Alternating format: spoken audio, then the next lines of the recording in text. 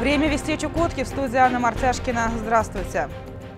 Первый крупный природный пожар случился на Чукотке в минувшие выходные. 6 июня в двух километрах от села Амалон горел лес.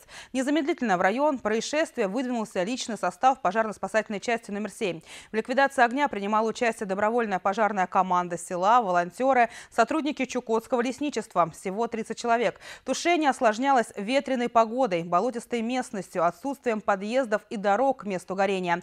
Тем не менее, пожар удалось ликвидировать. Площадь, пройденная огнем, составила 20 гектаров. Слаженные и решительные действия всех, кто принимал участие в тушении возгорания, позволили не допустить распространения огня на значительной площади.